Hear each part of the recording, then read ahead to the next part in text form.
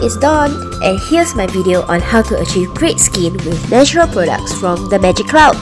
I'm starting with Clay Genie Exfoliating Cleanser to exfoliate my skin while tightening my pores with Azuki and Kinako Clay.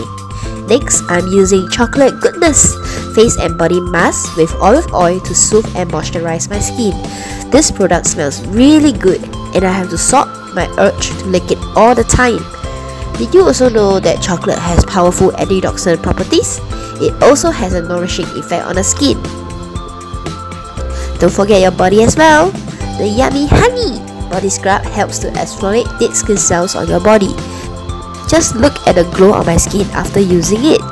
Finish off with your favorite moisturizer and a calming facial massage. Thanks for watching and I hope you enjoyed my video. I'm off for some beauty sleep now. Bye bye!